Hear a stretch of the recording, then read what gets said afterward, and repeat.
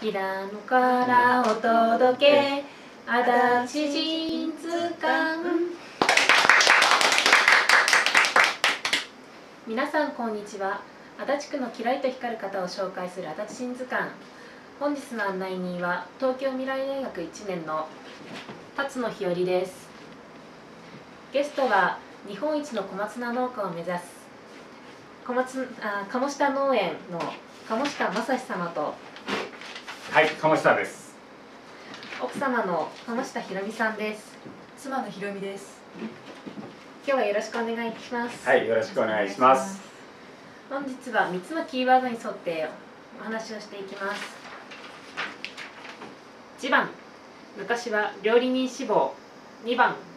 小松菜一筋3番農業体験の3つに沿って紹介していきます鴨下さんはもともあ何年ほど農業されているんでしょうか？えー、もうかれこれ30年を超えましたかね。農業、えーそえー農業に入られる前というのは何をされていたんでしょうか？えっとですね、えー調理師希望で、えー当時自分の親が作っていた野菜をお利用して、えー農園レストランみたいなことをやりたいなと考えてたところです。鴨下農園さんでは小松菜だけを育てていらっしゃるんですが昔はそうではなかったんですよね。そうですね。当時はウリナのお三等菜きゅうり何でも作っていて、まあ、それを子供ながら見ている時に、えーこれをどうやってやって美味しく食べればいいのかなということで調理師学校に進みそれを利用してレストランを開きたいななんて考えていたんですね。今は小松菜一つあ小松菜だけを育てているといらっしゃるということですが、はい。こだわりとかそういったものはありますか？そうですね、えー小松菜作り始めてからはあー安心安全で食べられるということで、えー堆肥を自分で作ったりまた、えー最近はあーハウスを建てて、えー学校給食に出荷するようになってからは、えー給食の残飯なのを混ぜた堆肥を作って、えー育ててるところですね。このように安全性に考慮して給食に給食におろされています。足立区の小中学校の107校のうち50校におろされているということですが安全な野菜が食べれるというのはとても幸せなことですね。奥様はちなみに、えーどうでしたか、えー農家の農家に嫁いでこられて。えー最初は初めてのことばっかりで、えー大変だったんですけれども、でもあの解放されたところでやるっていうのはなんか充実感があってとても今は幸せです。鴨下農園さんでは普段の農作業の他にも収穫体験などもされています。子どもたちはどんな感じですか？えーこれからだんだん収穫体験の本格化していこうと思っているんですが、えー子どもたち、えー農作業はそんなに喜ばないんだけど収穫した時は本当あの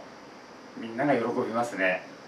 やっぱり農業との収穫が一番なのかなって感じがしますね。農作業されてて辛いとかそういうことってありますか？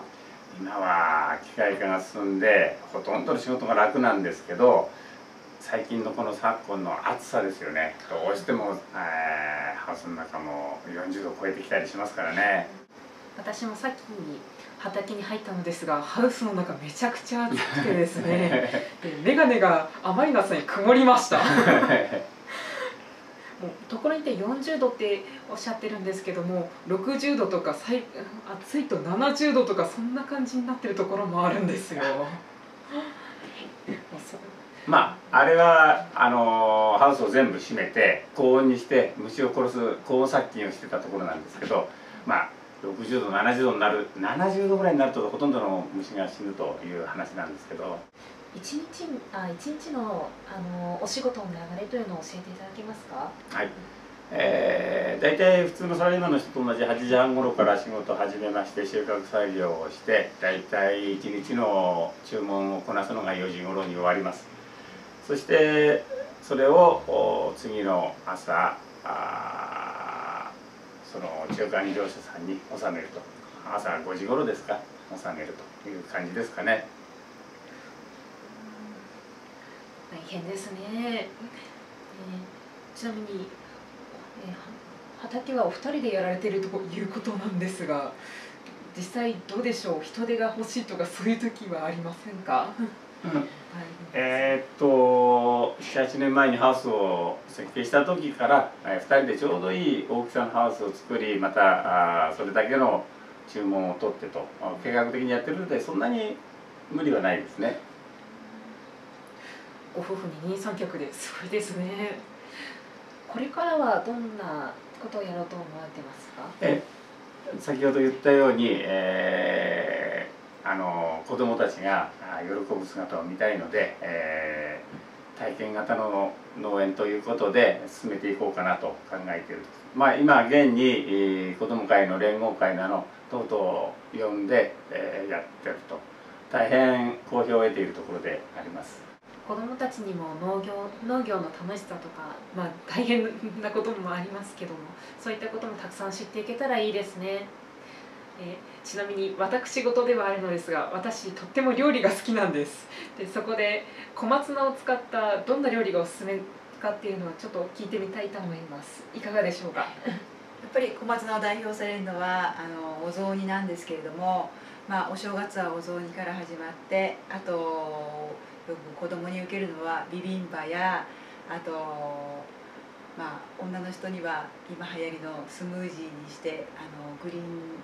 ジュースのように形にして飲んだりあとは頻繁にやるものでしたら炒め物であとは、まあ、手軽に小松菜入りの味噌汁あのどっさり入れて朝からしっかりあの和食で朝食をとるっていうのが一番シンプルで取りやすい形かな。ありがとうございます。私も早速ちょっと実践してみようかなと思ってます。美味しい野菜美味しい小松菜たくさん食べてくださいね。では最後に一言お願いします。えー、足立区を、はい。えー一言で言うと、えあもっと何かー東京田舎暮らし、まあ、今、えー東京でも先ほど言ったように小松菜等々の収穫体験ができるところは貴重なんではないかなと、えーそれを大事に守っていく。もう足立区でも何軒も農家残っておりませんが、えー守っていこうかなと考えているところであります。ありがとうございます。本日のゲストは鴨下正史さんと鴨下ひろみさんでした。ありがとうございました。はい、ありがとうございました。